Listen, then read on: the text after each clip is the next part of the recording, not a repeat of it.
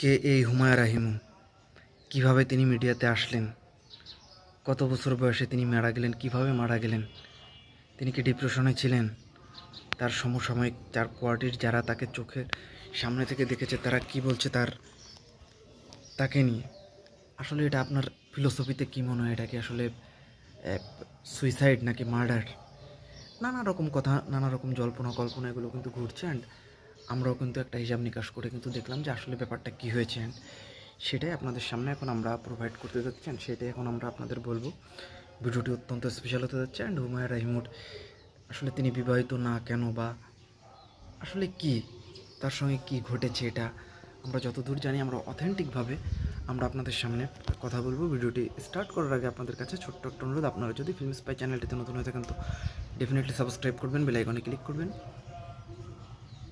Like করবেন share করবেন আর কমেন্টস করে জানিয়ে দেবেন আপনাদের মূল্যবান মতামতটা ওয়েটিং ফর ইউর কমেন্টস দুই সালের টিনেজ বয়সী একটা মেয়ে ভাগ্যের সন্ধানে নোয়াখালী থেকে মিডিয়াতে কাজ করতে ঢাকা এসেছিলেন। দু হাজার পাঁচ সালে মেবি তার ফার্স্ট নাটক রিলিজ পায়। এরপর শুরু হয় মোটামুটি একটা ফলো পায়। তো বেশ ভালো ভালো কিছু কাজ করে, দেশের সুনামধন্য অনেক হিরোদের সঙ্গে তখনকার সময় কাজ করে। মোটামুটি একটা প্রতিভা, মোটামুটি একটা ক্রেজ কিন্তু তিনি তৈরি করে ফেলে।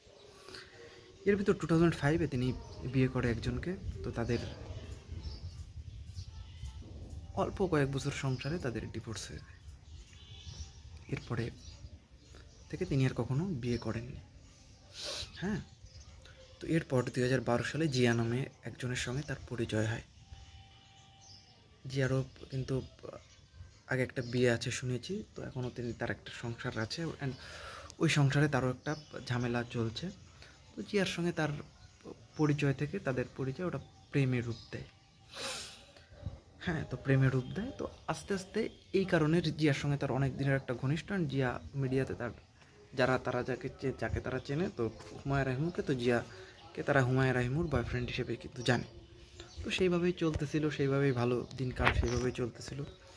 বাট হঠাৎ হঠাৎ আমাদের সামনে যে নিউজ আসলো গতকালকের আগের দিনে উই আর শকড আমরা রীতিমতো শকড হয়ে গেলাম যে হুমায়ুন রাহিমু আর আমাদের মাঝে নেই।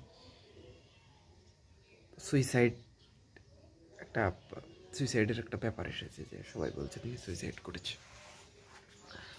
এমনটাই এখন অবধি ধরা হচ্ছে।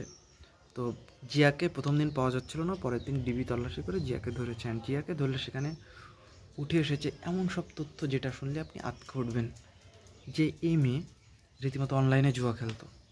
অ্যান্ড টাকার যোগান দিত তার কথিত বয়ফ্রেন্ড অ্যান্ড এনার আরও কিছু প্রবলেম ছিল। ইনি আসলে, অনেকে বলছে যে তার টাকার সমস্যা ছিল। মানি ক্রাইসিসে তিনি পড়েছিলেন বা কাজ করতো না ডিপ্রেশনে যাচ্ছিল। বাট তার, যারা তার সহকর্মী, তারা ম্যাক্সিমামই বলছে যে ওই ধরনের মেয়ে কিন্তু কোনোভাবেই কিন্তু ছিল না একজন হুমায়ুন রাহিমু তিনি যথেষ্ট প্রাণোচ্ছল অ্যান্ড ইকোনমিক্যাল প্রবলেম তার কখনোই ছিল না। অ্যান্ড তার মিডিয়া কর্মীরা মনে মনে করছে যে এরকম যে মেয়ে নিজের জুতা নিজের কাপড় চোপড় সব কিছু নিজে তৈরি করতে এরকম একজন ট্যালেন্টেড একটা মেয়ে প্রাণোজ্জ্বল হাস্যোজ্জ্বল একটা মেয়ে এইভাবে আমাদের সামনে দিয়ে চলে যাবে, এটা আমরা বিলিভ করতে পারছি না। অ্যান্ড এই মেয়েটা কেন আমাদের সামনে দিয়ে চলে যাবে? অ্যান্ড তার এটা কোনোভাবে আসলে সুইসাইড হতে পারে না।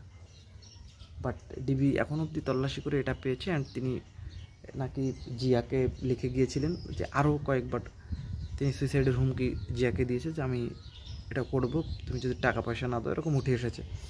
তো জিয়া বলছে যে তাকে অনেক টাকা যোগান দিয়েছে অনলাইন জয়ে বাট একটা টাইমে তিনি দিতে পারছে না, এই কারণে নাকি আসলে এই পথ বেছে নিয়েছেন। তো এখন আমার কথা হচ্ছে, জীবনে আপ অ্যান্ড ডাউনস থাকবে ক্যারিয়ারে ফল ডাউন ক্যারিয়ারে মানুষ ওঠে, নামে। বাট এই ধরনের ডিসিশন নেওয়া আসলে কখনোই কিন্তু আমার মনে হয় না যে সঠিক। কারণ মহান আল্লাহ তাল্লাহ তারাও তিনিও এই এটাকে সাপোর্ট করে না যে যত বিপদে থাকুক না কোনো সুইসাইডের মতো একটা পন্থা বেছে নিতে হবে। এটা তিনিও এটা কখনো কাউকে মানে তিনিও এটার ঘোর বিরোধী। তো সেখানে মানুষ কেন এরকম করবে? আমি জানি, যার পরিস্থিতি শুধু সেই জানে। তো এটা নিয়ে ছিল ভিডিওটি। ভালো লাগলে লাইক কমেন্ট শেয়ার জানিয়ে দেবেন। আপনাদের মূল্যবান মতামত টাইম ওয়েটিং ফর কমেন্টস